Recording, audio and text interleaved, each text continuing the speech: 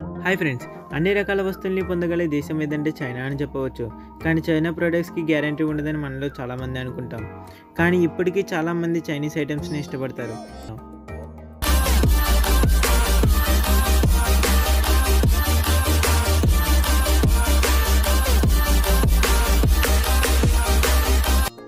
First one eggs చైనాలో eggs ఎలా ఉడకబెడతారో మీకు తెలుసా?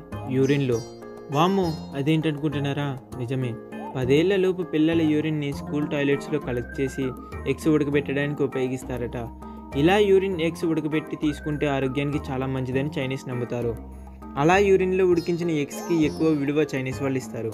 సెకండ్ వన్ రెంట్కి బాయ్ ఫ్రెండ్ రెంట్కి బాయ్ ఫ్రెండ్ అంటే ఏంటనుకుంటున్నారా? నిజమే. మనం బైక్స్ తీసుకుంటాం హౌసెస్ తీసుకుంటాం కార్స్ తీసుకుంటాం రెంట్కి. కానీ చైనాలో మాత్రం రెంట్కి బాయ్ ఫ్రెండ్స్ తీసుకుంటారు. న్యూ ఇయర్ సమయానికి చైనా అమ్మాయికి బాయ్ ఫ్రెండ్ లేకపోతే కలంకంగా భావిస్తారు.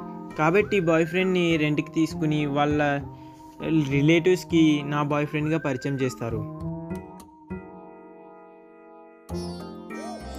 మూడవది అనుమతి తర్వాతే పిల్లలు. చైనాలో ప్రభుత్వ అనుమతి లేకుండా ఎవరు పిల్లల్ని కనడానికి వీలు లేదు. మూడు నెలల ముందే ప్రభుత్వ అనుమతి తీసుకుని ప్లాన్ చేసుకోవాలి. ఆ తర్వాతే పిల్లల్ని కనాలి. లేకుంటే చెట్టరిక నేరంగా భావిస్తారు.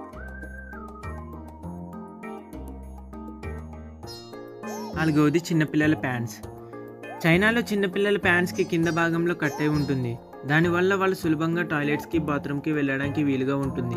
అలాంటి ప్యాంట్స్ చైనాలోని పిల్లలకు చాలా కామన్గా ఉపయోగిస్తారు. ఐదవది ఎక్కడైనా నిద్రపోవచ్చు. చైనీస్ మధ్యాహ్నం నిద్ర లేకుండా అస్సలు ఉండలేరు. అందుకే మధ్యాహ్న భోజనం తర్వాత ఏదో సమయంలో ఏదో ప్లేస్లో నిద్రపోతారు. ఒకవేళ ప్లేస్ లేకపోతే వీధిలో కూడా నిద్రపోతారు. అంతేకాదు స్కూళ్ళల్లో కూడా మధ్యాహ్నం లంచ్ తర్వాత ముప్పై నిమిషాలు బ్రేక్ ఉంటుందంట నిద్రపోవడానికి. అలా తింటూ ఉంటారు. దీన్ని వాళ్ళు స్నాక్స్గా ఉపయోగిస్తారు. ఎక్కువగా రోడ్లపై మధ్యాహ్నం పూట తింటూ ఉంటారు.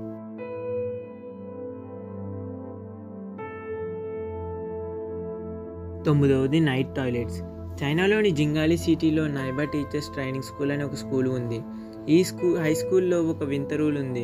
ఇక్కడ చదువుకునే ఏ స్టూడెంట్స్ కూడా రాత్రి వేళల టాయిలెట్స్కి కానీ బాత్రూమ్ కానీ వెళ్ళడానికి వీలు లేదు. ప్రతి మనిషి తిన్న తర్వాత టాయిలెట్స్కి వెళ్ళడం చాలా బేసిక్ థింగ్ కానీ ఈ స్కూల్లో మాత్రం ఎవరైనా జాయిన్ కావాలంటే ఈ రూల్ ఖచ్చితంగా ఒప్పుకుని తీరాలి. ఎందుకంటే వాళ్ళు టాయిలెట్స్ అని చెప్పి నైట్ పూట అక్కడ సమయాన్ని గడిపేవారు.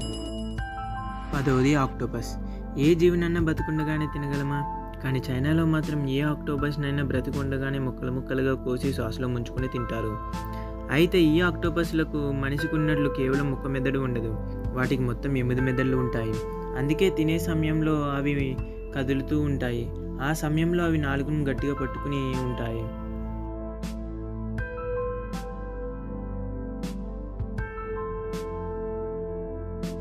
థ్యాంక్స్ ఫర్ వాచింగ్ లైక్ చేయండి షేర్ చేయండి సబ్స్క్రైబ్ చేయండి. పక్కన ఉన్న బెల్ ఐకాన్ పైన క్లిక్ చేయండి.